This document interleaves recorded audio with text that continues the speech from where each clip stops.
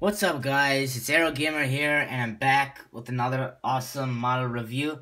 Now this is the Gemini Jets Interjet Airbus A320. Now I've been planning to get this model back in January but I don't know, I just found a lot of ni other nice models so I decided to get those. So I didn't have really have time but I actually finally got it and actually I got it within time because on Amazon I paid $31 for it plus free shipping, and now it's like forty-two dollars. So that's that was really early and close. So, and also I have a, the Skymarks Interjet, which I'm selling, and it's in excellent condition. Um, if you guys would like to buy it, it's in the description below. I guarantee. I will. I'm telling you, it's very great. This um, it's very excellent condition. Um, um, it's like it's like brand new basically. So it has everything in it, so because I don't really need two Interjets, so uh, A320s, so I just decided to sell it. And I wanted the Gemini Jets version, so better, so anyways, let's get on to the model. Uh, it's a tiny model, so I'll show you later. Uh, it's in the box. Here's the 2D image of the aircraft. Interjet Airbus A320 on 400 scale, all that. Just look inside. I like how they have the color here, just to show the color of the aircraft. Um, there's the aircraft was in there. Website new releases. You can pause and read that if you want. And you can pause and read that if you want. Oops. You know what? Yeah. Alright. So now I think it's a really weird... Oh, it's a cool box, but I think this is really weird. If this is the new model... So here's the... I'll show you later. The left... I'm sorry, the right. Bottom.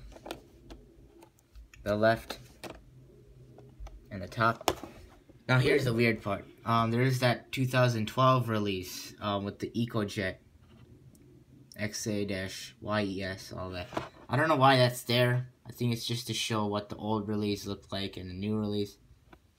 But, I don't know why, but that's, this is a 2016 Gemini Jets release. Pause and read that if you want.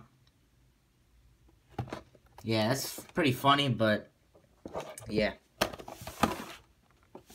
Anyways, alright. So now here is the model. So I'm going to show you how to get the thing off the stand. The tripod. So I'm to actually move it here so it's better lighting. So now we have, it's a tiny model guys. Um, but here's the cockpit windows, windshield wipers, whatever that red thing is. And then the first entry door right there. Interjet titles, Inter Interjet logo. Uh, the blue um, wave-like design, really like it. Emergency exit doors right there. And I don't know if it has, no it does not. Does it? No, it doesn't. It doesn't have the um, front run, runway lights for some reason, but because it's it's a really tiny model, so I don't really blame them much. There's the amazing uh, there's that amazing, um, what kind of engine was it? It was the two CM, CFMI CFM 56-3, uh, 5 B4 slash 3 engines. So that was, the yeah. Then there is the, I think that's the warning, like do not step or something like that. Amazing interjet winglet. And then the inside there's the Interjet logo, which is really cool.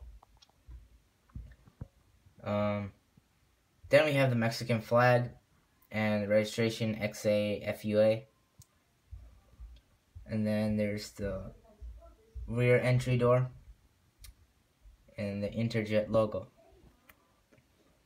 And then you move on to here. And it's kind of back heavy, so it falls on the and then there is the APU right there so then same thing on this side except this side has cargo doors and this wing has registration.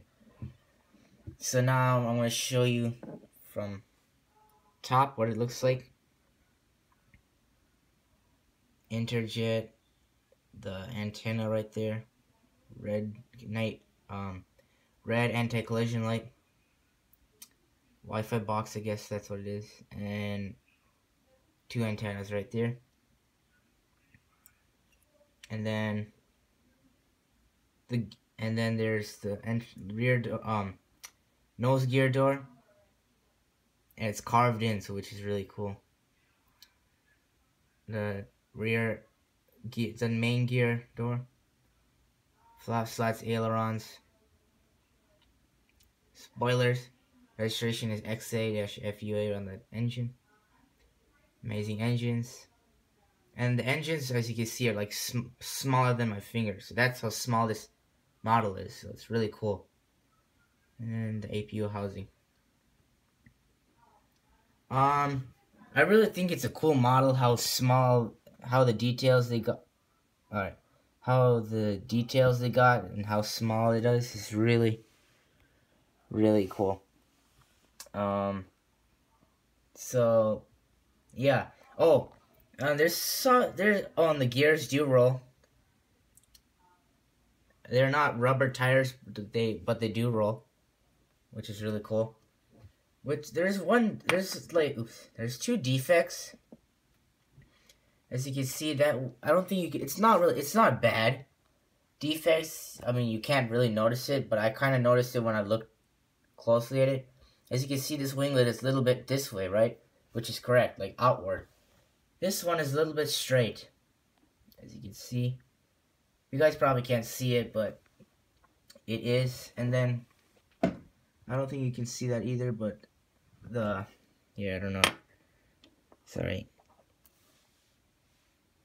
But there is, the gear, nose gear is, um, slanting, so, I mean, that's the only defect. Oh, those are the only defects. It's not really a bad, um, noticeable defect, but still they should get it right, but it's, it's okay. It's not bad.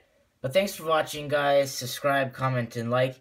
If you like this model, I recommend getting it, especially if a Mexican airport or regional, or if you just want an international aircraft in their fleet.